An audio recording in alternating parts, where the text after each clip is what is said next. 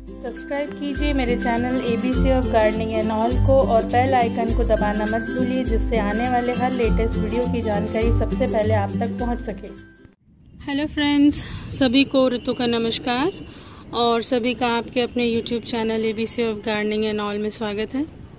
Friends बारिश का मौसम है और मेरे पास कई सारी डिमांड्स आती हैं कि आ, हम पौधों का रख रखाव किस तरीके से करें, उनकी कटिंग लगा के उनको प्रोपोगेट कैसे करें प्रोपोगेशन बताइए रख रखाव बताइए प्रॉब्लम्स को सॉल्यूशन बताइए। तो फ्रेंड्स आज अपने एक व्यूअर की डिमांड पर मैं आप लोगों के बीच में एक वीडियो लेकर आई हूँ और आज मैं आप लोगों को बताऊँगी कि हम वोगन बोगन वेलिया की कटिंग किस तरीके से लगाएँ, इसके ऊपर मेरे मेरे पास कई डिमांड्स आई थी। तो आइए, आज देखते हैं हम कटिंग किस तरीके से लगाएँ। तो मैंने अपने एक वीडियो में आप लोगों का परिचय इस न्यू बोगनविलिया से करवाया था। ये जो मैंने थॉर्नलेस लेकर आई हूँ, इसमें कांटे नहीं है। इस बोगनविलिया की खासियत ये है कि इसमें कांटे नहीं होते हैं। ठीक है तो कटिंग लेने से पहले मैं आपको बताऊँ, कभी भी जब हम कटिंग लेते हैं तो हमेशा कटिंग जो है पुख्ता लीजिए। और पुख्ते का मतलब पुख्ता का मतलब होता है हर प्लांट की अपनी अपनी एक खासियत होती है लगने की। जैसे कुछ प्लांट्स कुछ कटिंग जो हैं वो सॉफ्ट वुडेड लगती हैं, कुछ हार्ड वुडेड लगती हैं और कुछ प्लांट्स ऐसे होते हैं जिनकी दोनों प्रकार की कटिंग लग जाती हैं। तो मेरे पास मेरे पास में है ये बोगन बेलिया और ये बोगन बेलिया जो आप देख रहे हैं काफ़ी ऊट पटांग तरीके से बढ़ रहा है।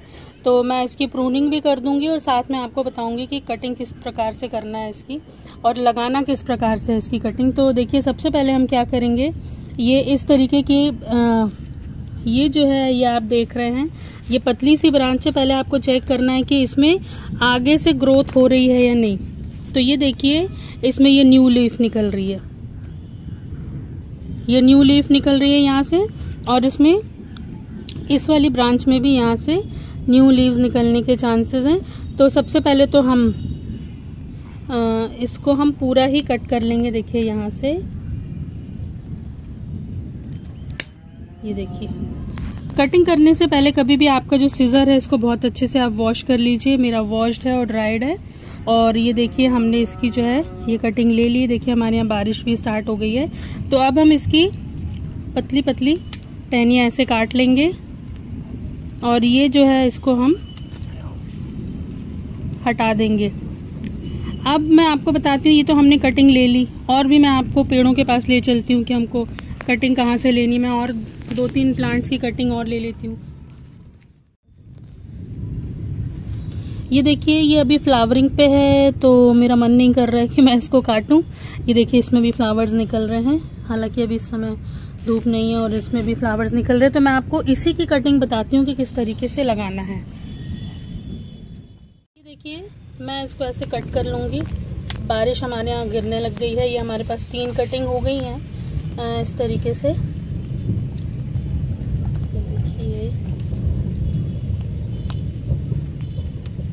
और ये मेरे पास में कोकोपीट है और और ये कॉम्पोस्ट है। तो हम कोकोपीट और कॉम्पोस्ट सभी बराबर मात्रा में ले लेंगे।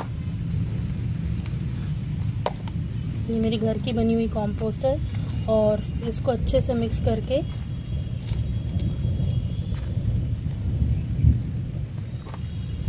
मिक्स कर लिया हमने। और ये मेरे पास ये पुराना आइसक्रीम का कंटेनर रखा था। और जिसमें काफ़ी सारे होल्स हैं, आपको दिख रहे होंगे। तो मैं इसे अच्छे से मिक्स करके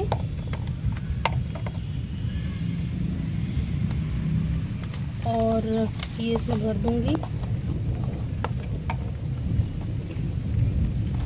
ये देखिए। अब बारिश तेज हो रही है तो इस तरीके से आप अपनी कटिंग लगा दीजिए। और अभी ऐसा रखिए कि इसको बारिश का पानी मिलते रहे और फिर मैं आपको इसके अपडेट ज़रूर दिखाऊँगी। तो फ्रेंड्स अगले वीडियो के साथ मैं आप लोगों के बीच में फिर आती हूँ। तब तक के लिए bye bye thanks for watching happy gardening